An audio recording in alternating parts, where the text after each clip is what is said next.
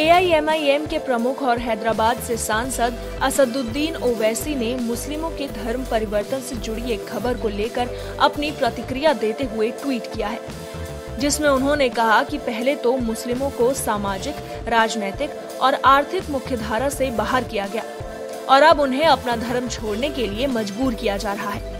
उन्होंने हिंदुत्व पर निशाना भी साधते हुए लिखा कि हिंदुत्व एक विवादास्पद विचारधारा है, जो हमारी पहचान को कमज़ोर करने में संतुष्ट है। इसके बाद एआईएमआईएम नेता ओवैसी ने एक और ट्वीट किया और लिखा, हम डर की वजह से अपना मज़हब, अपनी पहचान और इबादत करने का हमारा तरीका नहीं छोड़ेंगे।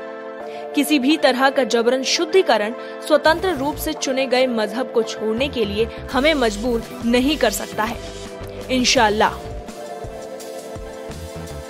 आपको बता दें कि इससे पहले असदुद्दीन ओवैसी ने तबलीगी जमात को लेकर योगी सरकार पर निशाना साधा था, जिसमें उन्होंने कहा था, आखिर क्यों यूपी सरकार मुसलमानों और गरीबों के प्रति निर्दयी होने का कोई भी मौका नहीं छोड़ती है? अगर कोरोना टेस्ट में नेगेटिव आए तबलीगी जमात के सदस्यों को दिल्ली और मध्य प्रदेश डिस्चार्ज कर रहे हैं तो फिर उन्हें रहने के लिए मजबूर क्यों किया जा रहा है?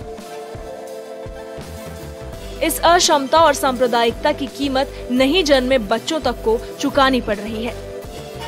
News desk.